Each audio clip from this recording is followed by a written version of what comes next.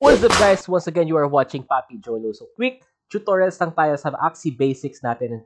Today, ang tutorial natin is about how to claim your SLPs. This one is very simple and this one is very quick. So without further ado, let's find out how to claim your SLPs. Let's go.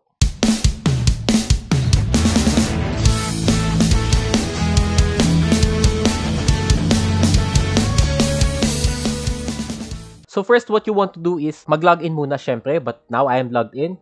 So alam naman na siguro natin kung paano mag-log in and after you are logged in, click my account and then click claim tokens and then click claim SLP. So for now, I have 1,721 claimable SLP. Then just click claim.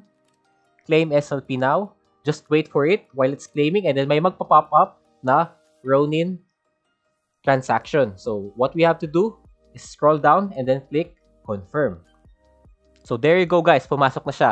If mangyari is hindi siya mag-appear, just click F5 and then check your claim SLP. Pag may lumabas doon na, na ma-unlock mo siya within a specific date, then double check your Ronin wallet and then tignan nyo kung lalabas yung SLP nyo. So ngayon, lumabas yung SLP natin and that's our quick tutorial for now guys. Maraming maraming salamat sa panood ng video na to. If you like this video, please do consider subscribing and like or comment down this video below. Also, watch our previous videos, especially sa series natin about Splinterlands. I have a giveaway there. If you want to join, just watch the video na pop up sa screen nyo after ng video na to. So, maraming maraming salamat guys. Once again, this is Papi Jolo.